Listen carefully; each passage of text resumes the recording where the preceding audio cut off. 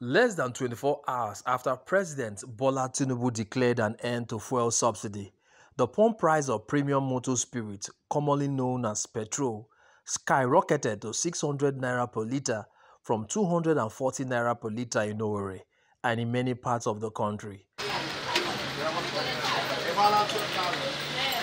Some motorists in Owerri say they are yet to understand the reason for the automatic increase and are worried it may get worse if not checked. Honestly, I'm not happy about it. I'm not happy. It's, it's very, very offensive that in, in a country where we are living, we are buying food at the rate of 500 naira per litre. It's unfair. It's not good. I'm not happy about it. We are suffering a lot. Uh, now, this morning I bought 400 naira per litre. Now I want to buy another one now. It's 550 naira. I don't know what to, to say about it. I want governor, governor of the state to help us to come and talk to these people. Let them uh, reduce the price of the fuel. The, the, the price of fuel is too, is too high.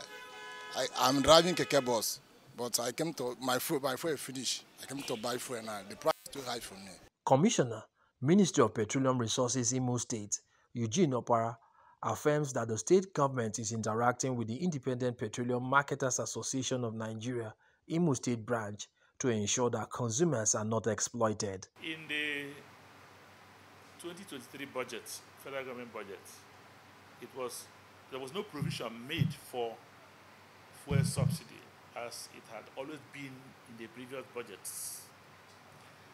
And again, that statement says that that will take effect from the end of June. However, the Nigerian National Petroleum Company Limited NNPCL was reported to have approved an upward review in the pump price of petroleum nationwide and the approval takes effect from Wednesday 31 May 2023.